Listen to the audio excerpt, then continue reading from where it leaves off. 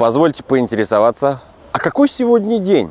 День воскресный, день чудесный. Друзья, всем привет! Прямо сейчас я вас познакомлю с шикарной жизненной историей о недвижимости, о судьбах людей. Все сюжеты, которые мы снимаем про недвижимость, на самом деле они дико поучительны, потому что просматривая их, внимание, вы получаете опыт людей. Казалось бы, 1%, а как этот 1% может разрушить жизнь человека? Казалось бы, ты покупаешь себе жилье и думаешь, все, слава богу, я успел, подставку 5,4%, например, как это было у многих. А потом все может развернуться так, что некоторые люди в прямом смысле слова сходят с ума. И вот сегодня мы узнаем и послушаем, что произошло с людьми. Мы сейчас находимся в городе Реутов. С точки зрения своего развития считается на самом деле вторым после Москвы. Быта, жизни, инфраструктуры все на высоком уровне. Итак, Прямо сейчас вы увидите взрослый познавательный сюжет с полезной информацией. Вот зная ее, вы уже будете готовы к завтрашнему дню. Ведь именно завтра с вами может произойти нечто подобное. Вот обратите внимание, какой мощный и большой дом. Сколько же здесь семей будет жить. А вот эта инициативная группа, которая сегодня пришла для того, чтобы с нами пообщаться и рассказать вам в первую очередь о своей проблеме. Ребята, вам огромное спасибо, все те, кто пришли. Сейчас мы с вами определимся, кто нам будет поэтапно рассказывать. Сегодня у нас даже профигурирует в ролике представитель администрации, который выскажет выскажется по вашей проблеме. И мы надеемся, что этот сюжет будет услышан, и вы действительно в ближайшее время получите свои заветные ключики. Ждете ключи? Да! Мы начинаем прямо сейчас. Знакомьтесь, друзья, один из потенциальных жильцов этого дома Андрей Казарин. Андрей, расскажите, пожалуйста, нам вот всю историю, чтобы людям было понятно, в каком году начал строиться дом, что это за застройщик, вот эти вводные данные. Застройщиком данного дома является общество с ограниченной ответственностью, строительная компания «Перспективные строительные технологии». Разрешение на строительство они получили в декабре 16, 2016 года. Фактически строить начали в начале 2017 года. Жень. Жилой комплекс представляет собой один дом 25-этажный, плюс э, цокольный этаж, плюс э, технический этаж наверху, то есть всего 27 по декларации. 4 секции, то есть 4 подъезда, всего 651 жилое помещение, Дольщиков по документам 479. Подземный паркинг, детский сад, какая-то Подземного паркинга часть. нет. Там э, потенциально разбили на кладовке. Первый, второй этаж.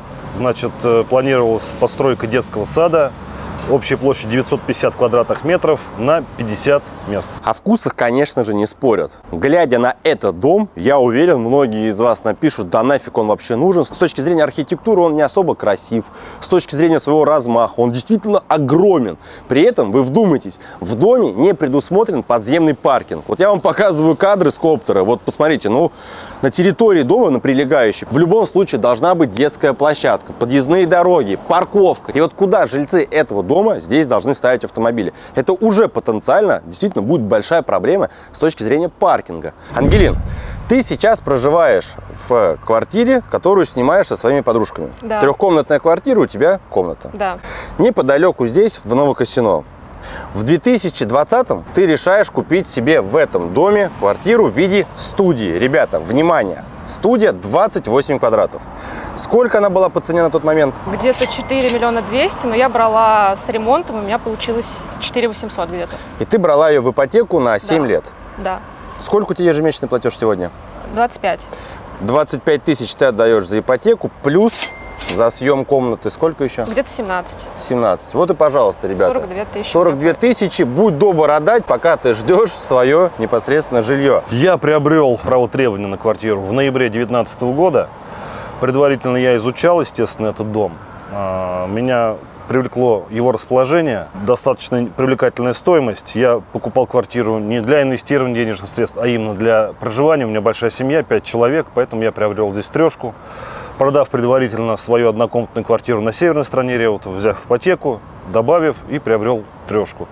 Всего стоимость трехкомнатной квартиры 89,87 ну, квадратных метров составила 7800 примерно. Угу. 7800. А сейчас вы проживаете в съемном жилье? Да, сейчас я в городе железнодорожный проживаю в съемном жилье. Платите аренду, платите ипотеку. Совершенно верно. И ждете, когда у вас будут ключики заветные от трешки, Именно правильно? так, да. Ольга, Вячеслав Владимирович, у вас тоже интересная ситуация. На данный момент вы проживаете с супругом, у вас двое детей и родители. Да, и вы все вместе живете в доме. Ну, соответственно, желание адекватное купить отдельно жилье, пожить своей семьей. В 2020 году вы с мужем покупаете в этом доме двухкомнатную квартиру. Помните площадь ее? 70 квадратов почти. Цена была у нас по договору 6 800.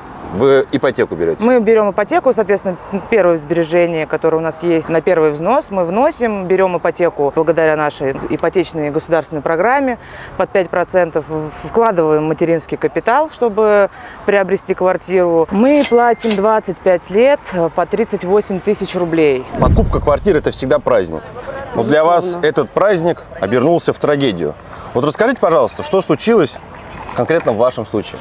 Ну, я начну немного загодя сначала, чтобы, так сказать, э, получить понимание всей картины ситуации.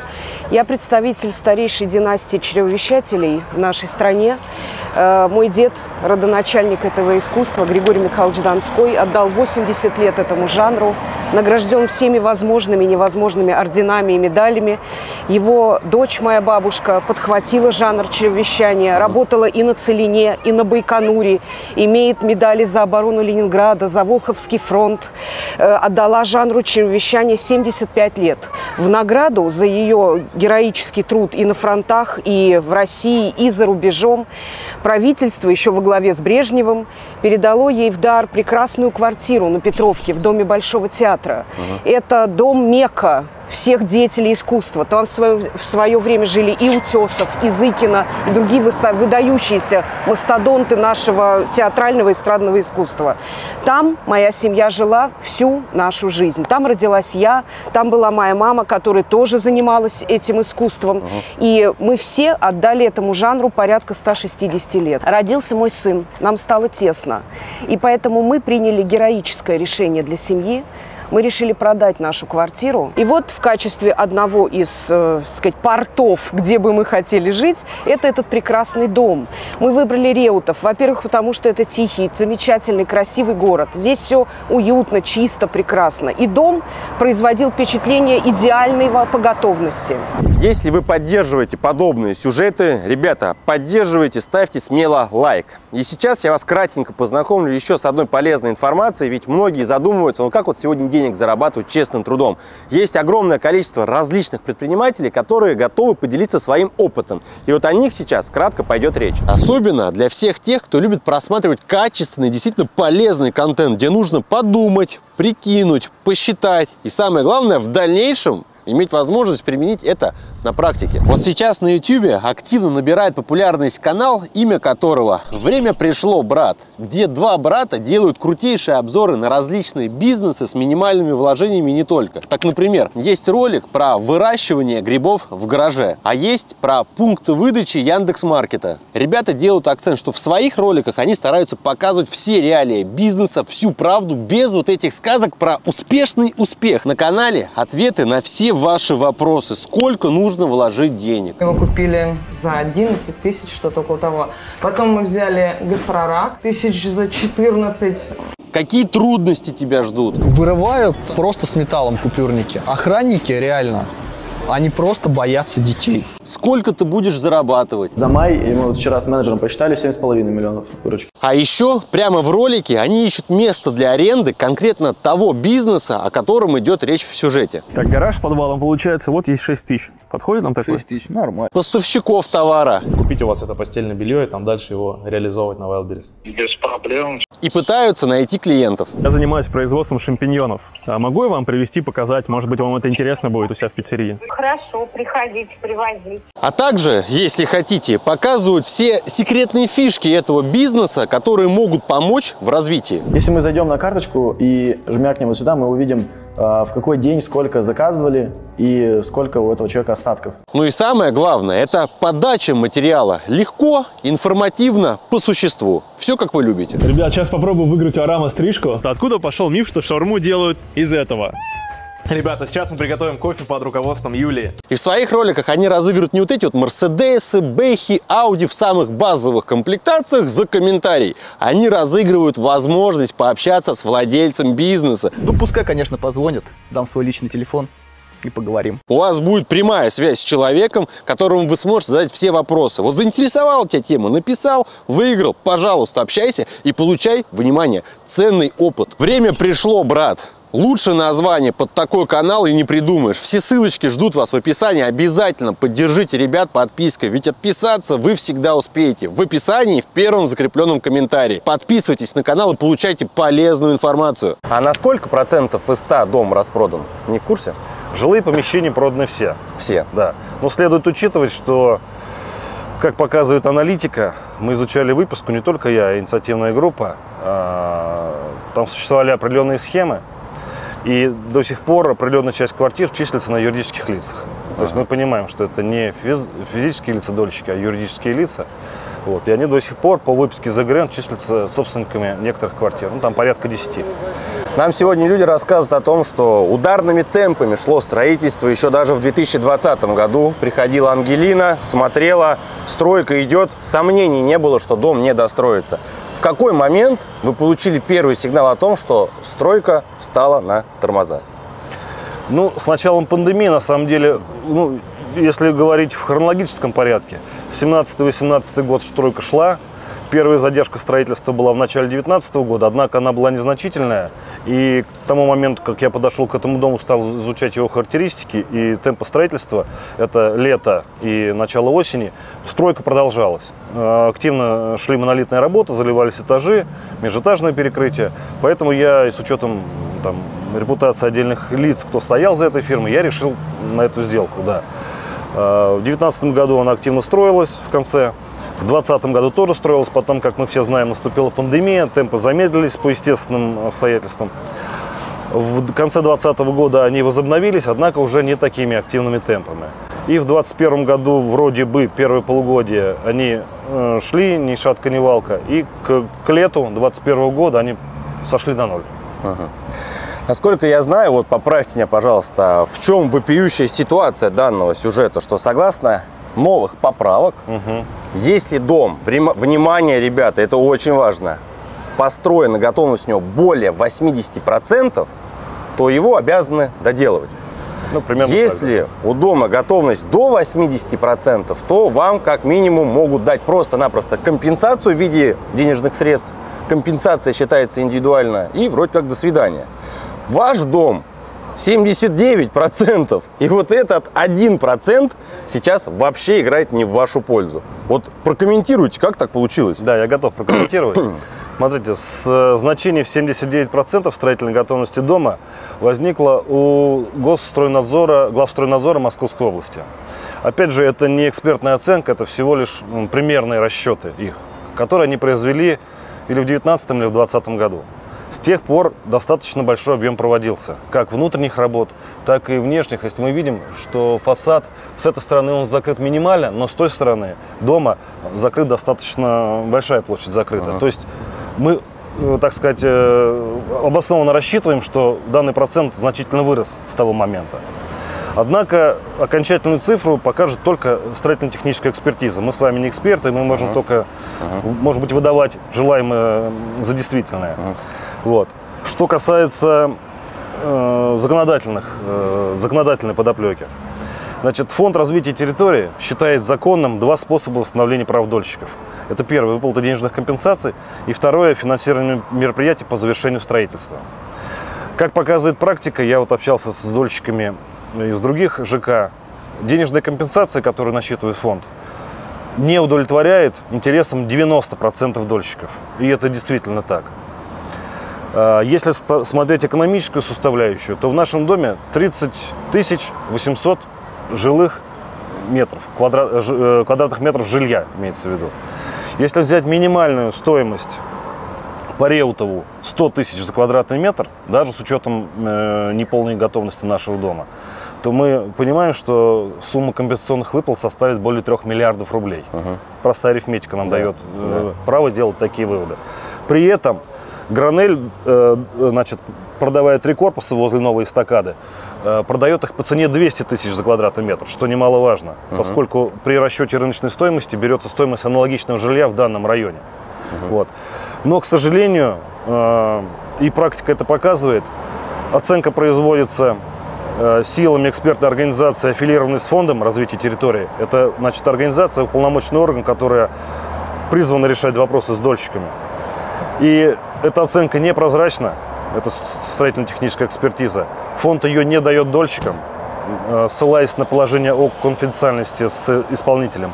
И получить ее возможно только в судебном процессе по заявлению сторон, потом, когда дольщики хотят оспаривать значит, значение этой строительной экспертизы и размер компенсации. Угу. Понимаете, что э, после драки кулаками не машут, и эффект от этого намного меньше, чем был бы тот, если бы эта процедура была бы проведена в прозрачном поле, да, совместно с дольщиками и так далее. А вот здесь сейчас сухая выжимка, которую вам важно понять. А, вот я скажу, а вы меня поправьте, если я неправильно скажу. Самое страшное, что может с вами случиться, что развернется все так, что вам скажут, мы вам даем компенсацию. Да. Компенсация будет непонятно какая. Может быть, это вообще вам скажут 70 тысяч за метр, и все. Могут. И таким образом вам вернут деньги, на которые вы сегодня ни хрена ничего купить не сможете. А вы при этом уже платите ипотеки, аренды, Совершенно уже верно. понесли потери. После чего дом достраивается, и его заново продают уже по новым ценам. А так и будет. Так и будет. Так и будет. Нет, единственный ну, момент. Это что... самое страшное, что это может самое, случиться. Единственный момент ради справедливости я должен отметить. Значит, э, государство не может мне выплатить деньги менее той цены, которую я тратил по ДДУ, покупал. Но, опять же, здесь тоже есть момент. Я покупал напрямую застройщика по договору долевого участия.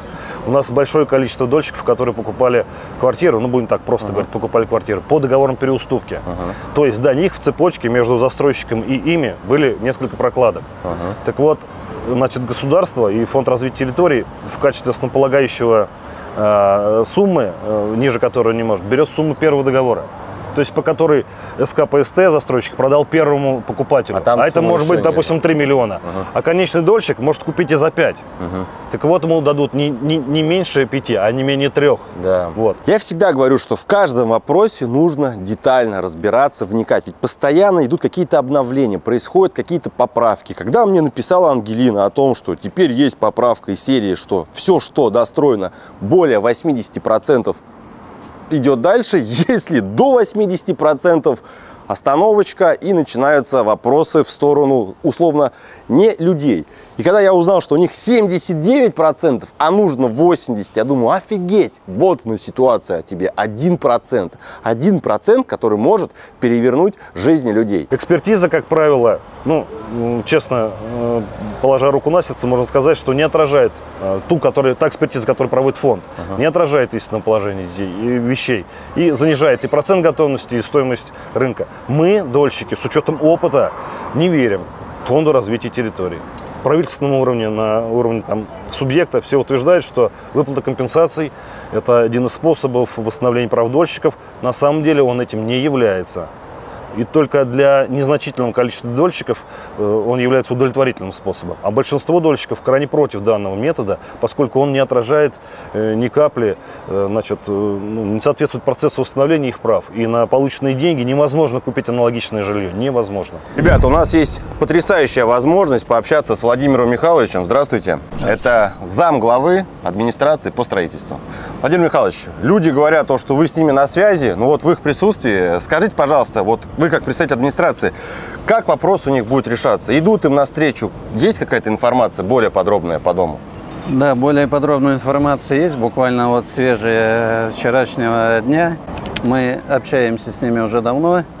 Э, как началась просрочка, даже и до этого встречались на доме, нам строители обещали, естественно, обманывали нас, мы немножко их обманывали.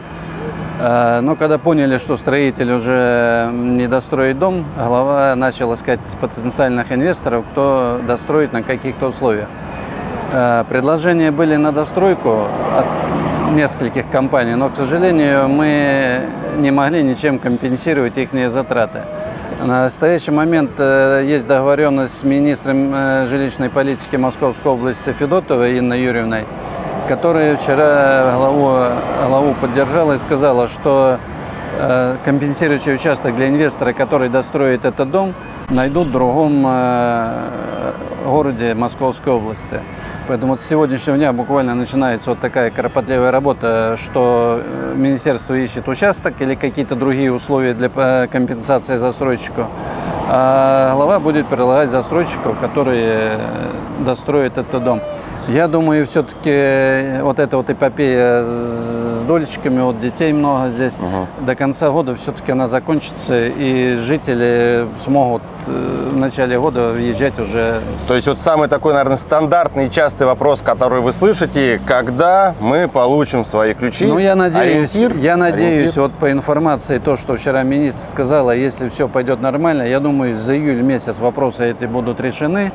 Э, Если по объемам работ тут по достройке, то, в принципе, здесь немного э, работ. За 4-5 месяцев здесь все можно завершить. Самое главное, летние работы надо благоустроиться до зимы. Потому что в ноябре-декабре можно внутри там где-то краить, штукатурить. Главное, до зимнего периода сделать благоустройство на улице. Сети здесь практически все заведены, и все сделано. Спасибо вам большое. Ребят, представитель сказал, ориентировочно до конца года. Доверяете главе? Вашему главе, заместителю? Верите? Дай бог. Ведь в дальнейшем будут выборы, правильно? И вы их, наверное, с удовольствием поддержите, если они в данной ситуации поддержат вам. Вам спасибо большое. Вам надо ехать дальше, а нам нужно снимать дальше. Кирилл, батя Леонида. И батя, ребята, сделал шикарный подгон сыну. Вдумайтесь, покупаете вы трешечку ему за 7 миллионов. Сколько там? 10 тысяч рублей. В каком году? 19 год, 30 августа я внес сюда деньги. Честно заработанная наличечка. Более того, не только мной заработанные. Сын начал работать для помогать мне купить эту квартиру еще когда ему было 15 лет, когда другие дети ездили отдыхать там на моря и Летом, океаны летом, да, он ездил убираться э, в кафе, работать э, официантом. Он на стройке разгружал кирпичи, очень хотел эту квартиру, потому что, в общем-то, планировалось у него впоследствии, конечно же, молодая семья, э, как у всех нормальных людей, дети. Я мечтал о внуках. А сейчас вообще я даже не представляю себе. Я сам живу э, в двухкомнатной маленькой 40-метровой квартире. Ну, так сказать, заводить туда нескольких внуков, чего хотелось бы очень мне как деду, вот, э, я не, не, даже представить себе А не сын могу. где сейчас живет? Сын, ему приходится жить у девушки в маленькой квартирушке. Ну, сын молодой, сколько ему сейчас лет? 19, будет 20. Ну, самостоятельно, да, получается, 19 лет уже девушка, отношения вместе живут. Ну, бишь, ну, не у вас там на шее рядом с вами. Нет, нет, конечно, он работает. Вы когда сюда приезжали покупать, вы же вместе приходили, правильно? Конечно. Вот помните вот эти ощущения, когда дом строится, стройка А, идет, вы вам знаете, менеджер по продажам рассказывает историю, Очень блин. приятные были ощущения, такой был подъем. э, Очень этого хотелось, очень мечтали просто об этой квартире, конечно. Кто-то из вас скажет, 28 квадратов, как это мало. Когда-то я снимал обзор на свою квартиру однокомнатную, которая у меня была такой площади. Некоторые говорили, ого, как мало. Сейчас по 18, да, по 20 квадратов делаю студия. А говорят то, что вообще будет даже и по 12. Из серии пришел, переночевал и ушел. Ангелина, расскажи вот историю покупку. Почему в этом доме? Как ты вообще его нашла? Почему этот район? А, ну, я снимаю квартиру в Новокосино, это получается Москва, но вот э, недалеко от этого района. Вот, я часто была в Реутове и поняла, что я хочу квартиру именно в этом районе, потому что тут пешая доступность до метро, это для меня важно было, поскольку у меня нет машины.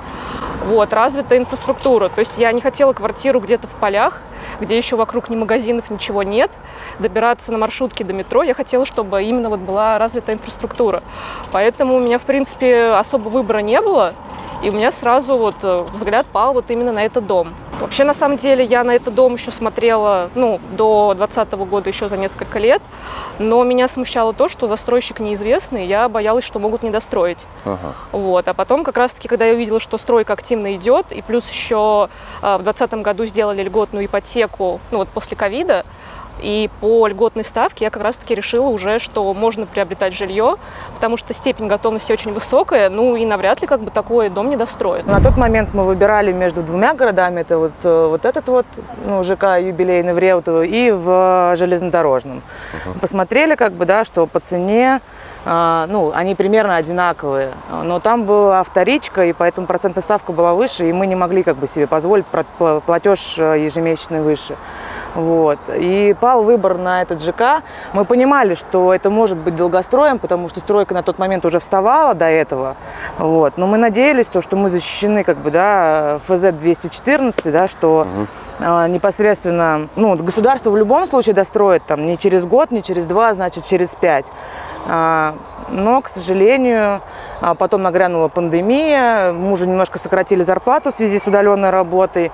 Кое-как мы выправили эту ситуацию финансово при помощи родителей, как бы, да. Помогает, да, тоже Да, потом более-менее все наладилось, и когда мы начали посещать уже собрания, поняли, что стройка не идет, то там всплывали какие-то такие факты, да, непонятные у застройщика, что там какие-то деньги куда-то пропали в размере 629 миллионов рублей. Что можно сказать про администрацию нашего города, города Реутов?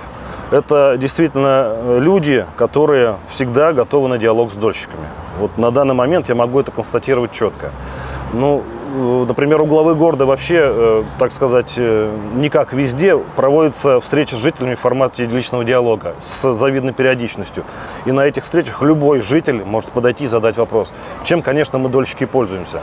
Кроме этого, организуются отдельные встречи с дольщиками с, с участием главы города и вот зам главы по строительству Плакамина Владимира Михайловича. Кроме того, значит, э, я лично, как э, член инициативной группы, обращался к э, заму главы согласовать нам, оказать помощь в предоставлении помещения для встреч дольщика с юристом, и это им было сделано. Сделали, да? Да. Кроме того, мы, у нас есть об этом документ. Значит, э, глава города за своей подписью отправил письмо на имя Цицина, это глава Фонда развития территорий, где он выразил э, просьбу, основанную на мнении дольщиков, о том, чтобы они включили механизм именно достроя. Не выдачи компенсации, а достроя. Это факты, от них никуда не денешься. И они вот. позволяют нам говорить о том, что администрация на нашей стороне. Да, многие дольщики недовольны тем, выражают недовольство в том, что администрация обещает, но ничего не делает. Но давайте будем откровенны, ну, к сожалению, не все в силах нашей администрации. Учитывайте, что город Реутов один из самых густонаселенных городов не только России, но, говорят, и Европы. И свободных участков, которые бы администрация могла дать в качестве компенсации тому застройщику, который сюда придет и за свои деньги будет достраивать, ну их в, в- в черте города ну, практически нет. Мы приобрели квартиру. Это было году? счастье. 20 год. Это было счастье. Дом сначала строился просто невероятными темпами, но потом в, ко- в конечном итоге совершенно занял, замер и прекратил строительство вообще. Моя мама, поняв, какую страшную ошибку она совершила, потому что эта квартира на каретном ряду в доме Большого театра, это не просто было жилье, это была гордость семьи, что нас признала Россия, что на- наше искусство признано. Она потеряла рассудок. У меня есть документы, которые я передала в аппарат президента за личной подписью мамы. Она там как-то, так сказать, поставила крестик. Она очень сильно сейчас заболела. Она больна психически. Она, это трагедия в семье, потому что человек заслуженная артистка России. Она прекрасно себя держала, она актриса. Марина, а скажите, пожалуйста, а вы покупали здесь э, квартиру сколько комнат? Одна, две, три? Я купила специально две квартиры, небольшие, однокомнатные, для того, чтобы в одной квартире жила моя мама. Я живу рядом, нам было бы очень удобно, понимаете? Э, И второе, вторую квартирку небольшую мы купили для ее внука, моего сына, целью, что, может быть, когда-то он женится и будет жить тоже. То есть мы все были бы рядом. А продав ту квартиру, вы-то сейчас где, получается, живете? Э, квартира настолько была великолепная и прекрасная. Понимаете, почему с ней это случилось? Потому что она не, мо- это невозможно просто пережить. Что мы, у нас хватило денег и на то, чтобы расселить меня с мужем, и на то, чтобы купить квартиру маме. Э, а теперь уже она в таком состоянии, что я думаю, что если вдруг придет такой прекрасный день и квартира все-таки будет достроена, то в одной квартире будет жить мама, а в другой ее сиделка. Я понял. Потому что она, к сожалению, недееспособна. Это страшное дело. А застройщик, который строил, он обан- обанкротился? Да, 9 июня арбитражным судом Московской области было принято решение о банкротстве и введении процедуры конкурсного управления. 2022 года. Да, вот буквально. И чтобы вы понимали, значит, для того, чтобы достроить дом, сейчас ищут застройщика, который это сделает за свой счет, но ему в качестве компенсации дадут какой-то земельный участок, да, на Да. котором он сможет построить новый дом и потом продать. То бишь такой Ну некий да, бартер. ну будем так говорить, компенсационный механизм, да. И этот компенсационный механизм э, по инициативе главы города обсуждается с э, Минжилполитики Московской области вот, в лице э, министра Федотовой Ирины Аркадьевны. И вот, э, как мы знаем, как нам сказал сегодня глава, о, замглавы, что определенные договоренности по этому поводу достигнуты. И мы возлагаем на это очень большие надежды, ждем, что действительно Андрей. правительство области нас не бросит. Андрей, а фигурировала такая информация, что застройщик предыдущий, ну, который обанкротился, якобы вывел что-то порядка 650 миллионов рублей. Есть такая информация Да. или вот откуда она взялась? Могу сказать. Значит, э, в ноябре 2019 года, так совпало, что это тот момент, когда я принимал решение о покупке, произошла смена бенефициаров. То есть из этого общества вышли старые учредители, и в этот проект зашли новые выходцы из э, Башкирии. Э, Два брата Денисовых, будем так говорить. Один из них, который стал учредителем и генеральным директором. И проверка, проведенная Главным управлением Госстройнадзора по Московской области, выявила расходование нецелевым образом 629 миллионов рублей. Однако, э, объективно говоря, и э, надо, так сказать, справедливо относиться к этому, данные денежные средства были выведены до э, вступления вот этих новых бенефициаров в управление обществом. Поэтому все вопросы по ним в, в области там, уголовного преследования должны лежать прежним, прежним бенефициарам. Да, э, значит, новые бенефициары в полной мере являются как бы правоприемниками, ну, в кавычках, конечно, да, поскольку юрлицо не поменялось. Однако и к ним можно гражданские претензии предъявлять, то есть они полностью несут все обязательства по дострою. Но претензии по выводу 629 миллионов в уголовном порядке стоит предъявлять, наверное, прежним владельцам. Что на самом деле-то пугает? Ладно бы, обманули на этапе котлована. Можно было бы сказать, ну а куда вы полез? Надо было подождать. Ну так самый-то прикол в том, что некоторые приходили, когда дом уже был поднят, что уже, казалось бы, ну, полгодика-годик, и будет все готово. Вот что пугает. Именно поэтому, ребята, наматывайте себе на ус. Иной раз, ну реально, лучше переплатить. То бишь дождаться, пока дом построят, он будет сдан, чтобы ты мог прийти, увидеть тот самый подземный паркинг. Потому что для многих это прям, ну, действительно счастье, когда ты приезжаешь, у тебя есть свое личное парковочное место, куда ставишь автомобиль только ты и никто другой. А у некоторых дом сдан, приходишь, а паркинг топит. А еще на цоколе, как правило, делают кладовки, которые тоже топят. Это у нас следующий сюжет. Это уже в Москве. Приедем, покажем. Потом начали приходить письма некоторым дольщикам, что они должны денег застройщику. Мы были, конечно, потрясены, потому что мы ждали этого письма, да, там у всех были разные суммы. Вот. И, соответственно, потом нам принимают поправку в закон, которая говорит о том, то, что извините, но квартиру вы, скорее всего, свои не получите, а получите компенсацию. И получается, все эти деньги, которые мы переплачиваем, проценты, да, а, материнский капитал Коту- просто коту гасит. под хвост. Да, то есть материнский капитал, который мы внесли, он просто сейчас пока вот э, э, перекрыл нам процент, который мы выплатили за ипотеку. То есть А вы не узнавали, вот, допустим, в данной ситуации, если, например, вам будут компенсации давать, то вам этот материнский капитал обратно как-то э, вернуть? должны, да, вернуть нам его... м, Должны вернуть нам его в, в пенсионный фонд, только непонятно как. И Есть такая, ну, я, я пока не разбиралась в этой ситуации. Вот. Ольга, вот вы попробуйте передать просто людям вот эти вот эмоции, когда ты узнаешь, что ты платишь, платишь, платишь, а потом хренакс, и тебе говорят, фигу тебе, Ну, если- Ст- стоп.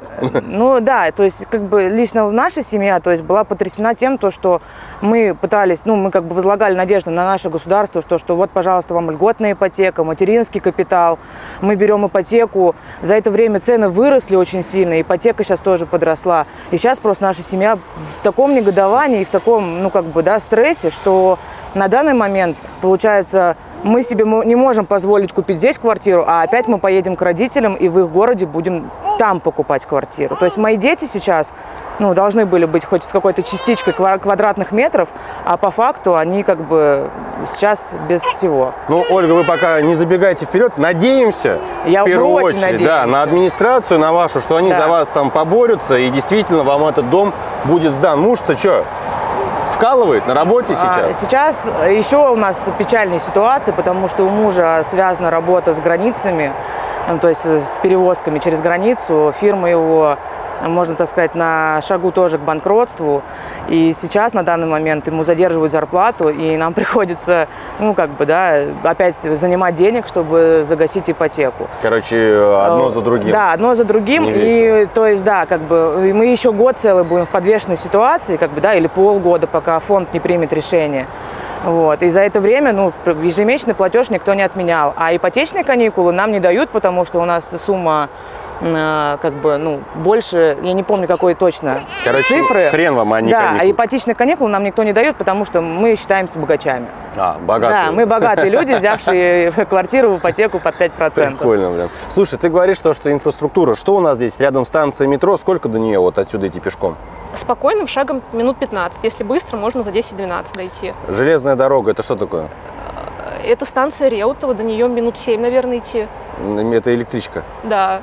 То есть, И пожалуйста, скоро остановки. должны диаметр пустить тоже тут. Ага, остановки поблизости, Всё рядом, правильно? да. Если бы тебя сейчас также молодые ребята спросили бы, Ангелин, ну вот э, посоветуй нам, вот, допустим, я сейчас хочу себе что-то купить, к примеру, на что бы ты посоветовал обратить внимание людям? На вторичку. На вторичку лучше, да? Да, я бы взяла, наверное, вторичку. Хоть там и ставка намного выше, но это хотя бы гарантия. Ты И это заезжаешь, уже да. заехал, и же сделал ремонт, и пожалуйста, да? Вот такая история, ребята, поэтому делайте выводы, как бывает. Казалось бы, вот, да, приезжаешь, смотришь, да, блин, готовность уже вот, облицовку доделываю, внутрянку доделываю, все, ключи вручай, люди довольны. А вот тебе, опа, и вот такая фигуля. И висит сейчас над людьми вот эта опасность. То ли сделают и помогут, то ли не сделают вообще. То есть переживания это, подчеркиваю, еще много жильцов у вас, у которых там чуть ли не нервный срыв уже идет, Да. потому что это мы сегодня еще солнышко, люди так вот нам попались более позитивные. А Вот женщина рассказывала, мама у нее с ума сошла, уже, да, пока ждали квартиру, поэтому тут ситуация не самая приятная. Вот вы вот честно, вот на душе, как вот сами думаете, все-таки доделают и дадут вам ключи, или все-таки будет худший вариант развития событий, что вам будут компенсации пытаться давать? Я верю, что достроят, опять же, с участием только правительства Московской области. Так сказать, их суд- наша судьба в их руках.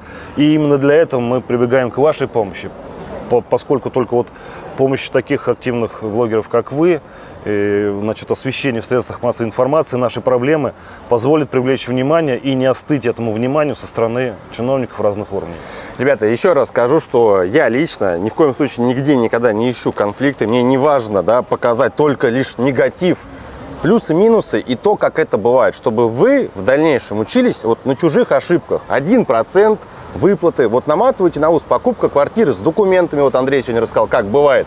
Как можно вместо 5 миллионов получить 3. Поэтому это очень важно. Андрей, а вы вот случаем не чиновник? Нет. А вот очень похоже, вот речь у вас хорошая, одет вы такой статный мужчина, вот прям как будто вы сам мэр какой, нет? Нет. Вам спасибо большое. Надеюсь, то, что ваш вопрос будет решен, и потом вы все вместе скажете и администрации, и новому застройщику. Большое спасибо. Неожиданно, но, но совершенная трагедия, совершенная трагедия.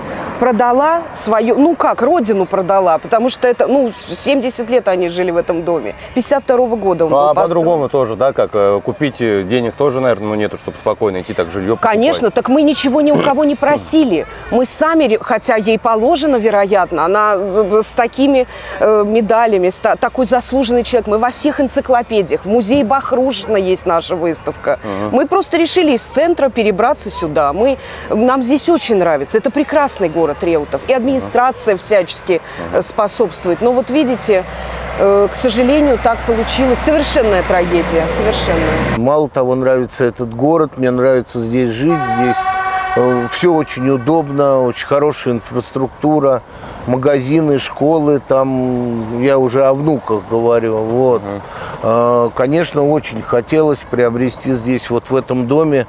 Он красивый был очень на проспектах. э, Рекламных. краси- на рекламных проспектах, да, очень красиво об этом, о нем рассказывали. В общем, очень хотелось, конечно, приобрести здесь квартиру.